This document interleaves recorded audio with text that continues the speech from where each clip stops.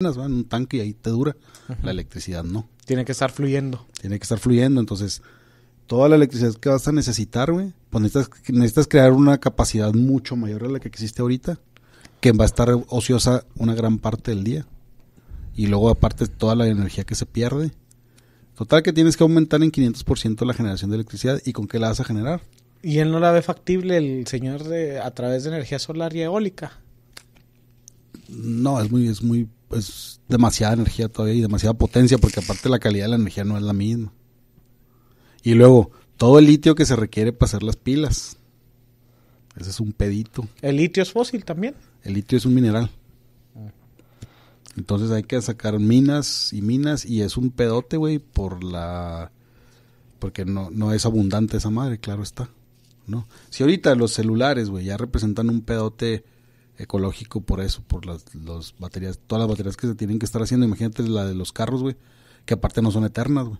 Y aparte, vamos a mantener el paradigma, güey, una persona un auto y luego esa persona tiene que cambiar su auto cada dos, tres años, para mantener el estatus. ¿Cuál está? Ah, el estatus económico. O sea, Sí, el el- vato, su imagen ante la gente. Bueno, pues nosotros vemos estas, eh, bueno, él lo ve como los objetivos más loables. Pero el Hyperloop, por ejemplo, perdón, o cualquier sistema masivo que mueva a la gente en masa, pues eso ya es diferente, ¿no?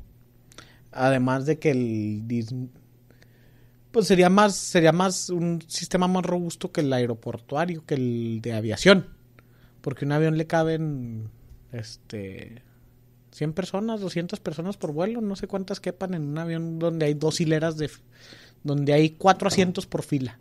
Pues depende de qué avión, ¿no?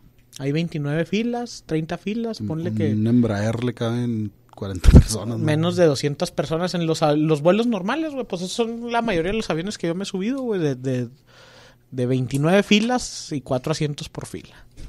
Entonces, eh, ahí podrías a lo mejor transportar pues mucha más gente en ese mismo periodo de ida y vuelta. Eh, él decía que para él son objetivos muy loables de, de hacer un, un uso brindarle a la humanidad no eso de ahorro de energía, sino multiplicar nuestra capacidad de energética a través de esas herramientas y lograr todavía más producción este, humana, de modo que eso acelere nuestro crecimiento y acelere la llegada del hombre a Marte. O sea, él configura todo en este objetivo de que la humanidad llegue a construir la capacidad eh, tecnológica de que podamos estar en Marte. Entonces él así lo articula en su narrativa, en su discurso. eh, le dan sus loqueras de repente. Tiene la, la Boring Company, creo que se llama, donde hizo el lanzallamas ese que parece una fusca. O sea, pues ya propiamente lo que nos imaginábamos en las caricaturas. güey. 524 pasajeros, el avión más grande, el, el Boeing 747. Bueno, el Hyperloop creo que supera eso, sí. Bueno, el, Airbus, el Airbus 360 es más grande, ¿no? Pero bueno. El de Peña Nieto, pues Peña Nieto se llevaba como mil personas siempre que viajaba a todos los países entre prensa y invitados. Peluqueros. El peluquero de la gaviota. No, morritas, así que, hey, ¿quieren ir? Vamos, vamos, vamos al tour a Francia. Amigos de la, de la, De las hijas, sí. de la, esta, de la, ay güey, ¿cómo se llama? La Castro, la gran Sofía mayor, Castro. la Sofía Castro. El John Boy, el ¿La Daniela. Castro es tía de ellos? ¿De No sé, no sé, no sé, no sé. Pues si tú eres ahí el bueno de ese tema. Me has caricaturizado así, pero no sé nada. Yo creo que estás más tú enterado tú que tú creciste en los tiempos de las novelas donde sabían quién Donde- era cuál ca- cada pinche artista. Daniela Castro se casó con Jorge Campos, güey. O no sé si le andaba echando gasolina, pero era para, o sea, era ese nivel de actriz en aquellas épocas. güey. Bueno, pues el, el señor critica que decía las mentes más valiosas de mi generación se dedicaron a lograr generarles más clics a las páginas de publicidad. Y él contrasta su, su vocación y los logros que él ha alcanzado con cosas que le parecen menos importantes, como Facebook. Aunque, este, pues eso es parte de su narrativa. Yo no creo que él diga que él piense que Facebook o que las redes sociales sean cosa menor. Yo creo que han transformado a la sociedad. Nos han hecho, han, han incrementado el calentamiento global. Yo creo que las redes sociales son el punto de partida a este movimiento de péndulo más acelerado y más fuerte que estamos viendo en el mundo. Entonces, Más acelerado, sí. Ma- y, y más fuerte, güey, porque le da voz a muchas cosas que antes no existían. El inter Yo creo que sin internet no hubiéramos visto el crecimiento así hasta ridículo de ciertas causas feministas, de la ideología de género, de ciertas causas ecológicas, porque toda esa gente se unió gracias a la proliferación de redes Bueno, sociales. Sí, sí, sí. O sea, había dispersión y tal. Sí, sí, o sea, el que leía el periódico era. Sí. No es el mismo que tiene Facebook ahora. güey. Entonces, este. Eh, pues yo no las menospreciaría. Incluso por eso mismo esos señores también tienen rivalidad. No sé si tú estás al tanto del debate que tienen de la inteligencia artificial. Y cómo uno le contesta al otro entre Musk y Zuckerberg.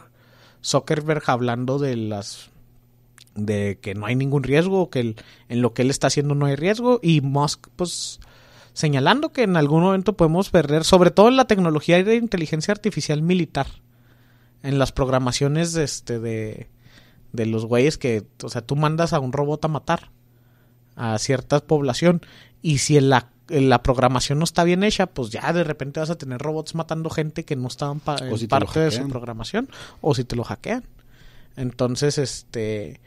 eh, no que van a cobrar voluntad propia y esa conciencia de, ah, jaja, yo robot voy a conquistar el mundo.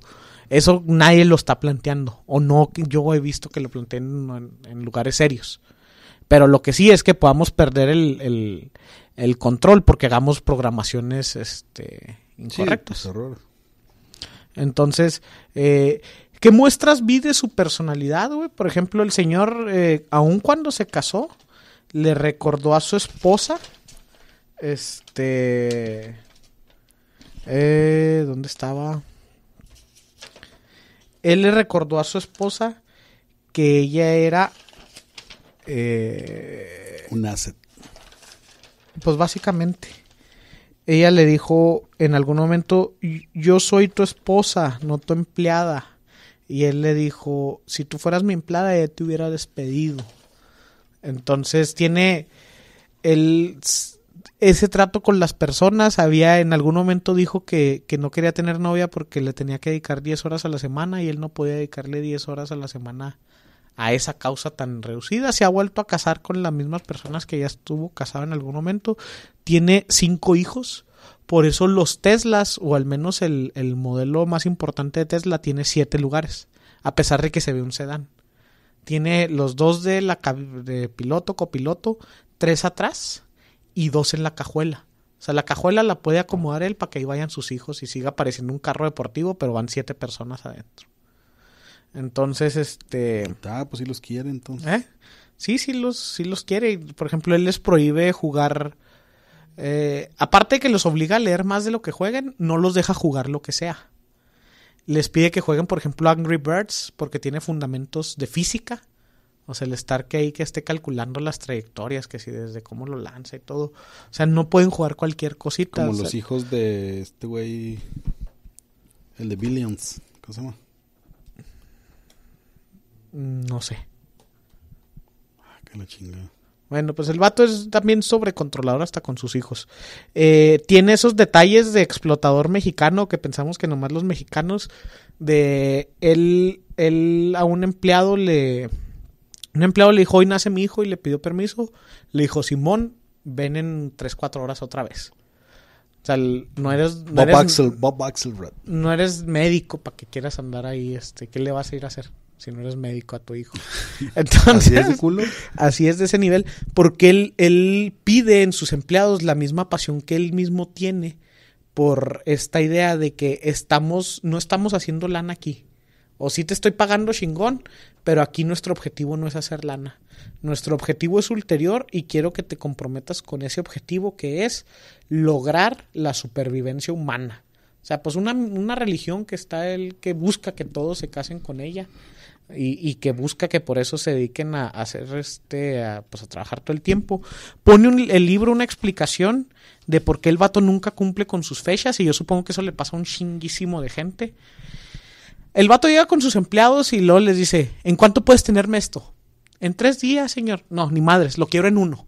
Y luego arma su puro, su schedule, su, su agenda de los Pensando pasos. que. Eh, y les dice la señora, los voy a tener en dos años.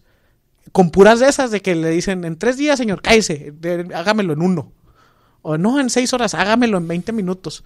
Y así compone sus planeaciones. Y por eso siempre se anda pasando de bocón con los días. Y pues no ha aprendido, güey. Todavía sigue diciendo así fechas que no cumple.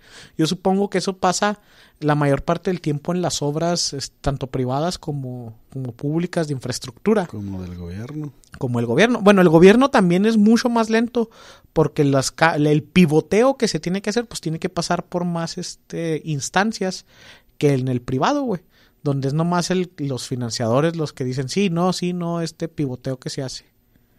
No, bueno, eh, bueno, nada más con los schedules, sino por ejemplo también yo, yo tengo, bueno, la hipótesis de que, por ejemplo, cuando se cayó el avión de Muriño o los helicópteros estos que se han caído es porque, oiga jefe, pues es que el, helicóptero no tiene el mantenimiento. No, pero nos tenemos que ir ya a, a, porque tembló y la chingada. Y lo, háblale al capitán y nos tenemos que ir. Y, que se caiga la verga. Que se caiga la verga el, el, el coleóptero.